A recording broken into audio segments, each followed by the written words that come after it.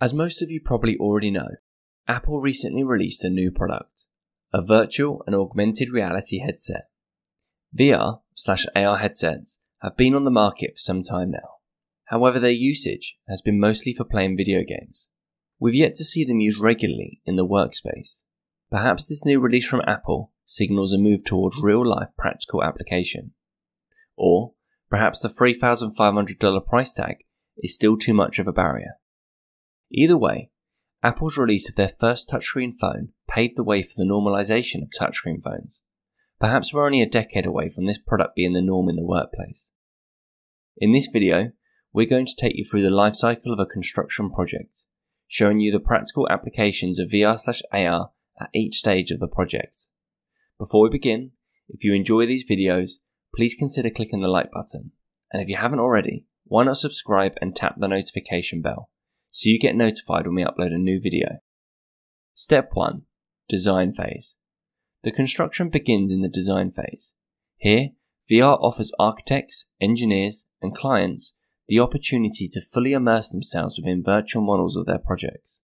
This immersive experience facilitates a comprehensive understanding of spatial dynamics, allowing for informed decision making. This capability enables stakeholders to refine and optimize designs before physical construction begins, ensuring efficiency and cost effectiveness. Step 2 Planning and Approval Process. During the planning and approval stage, VR plays a crucial role in enhancing stakeholder engagement and communication. By presenting projects within a virtual environment, it becomes easier to convey complex ideas and secure necessary approvals from authorities, investors, and the community streamlining the process and fostering transparency. Step 3 Construction Phase. In the construction phase, AR technology comes to the forefront, enabling construction teams to overlay digital project information onto the physical site. This integration allows for precise placement and alignment of structural components, directly guided by the digital plans. It minimizes errors, ensures accuracy, and accelerates the construction timeline. Additionally, AR facilitates real-time access to construction documents and updates, keeping the site team informed and ensuring the project adheres to latest specifications. This continuous access to updated information is critical for managing project momentum and alignment. Step 4 Inspection and Quality Control. As construction progresses towards completion, the shift focuses to inspection and quality control.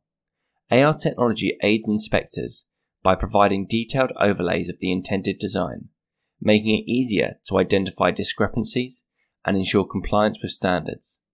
The digital assistance enhances the efficiency of the inspection process, promoting high quality outcomes.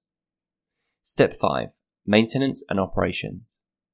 Upon completion, the focus transitions to maintenance and operations.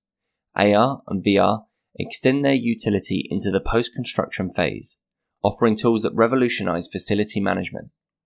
AR enables maintenance personnel to visualize the internal components of the structure, pinpointing issues without the need for invasive measures. VR, in contrast, serves as an effective training platform for staff, preparing them for maintenance tasks within a controlled virtual environment. Metroun, a commercial hub for your business.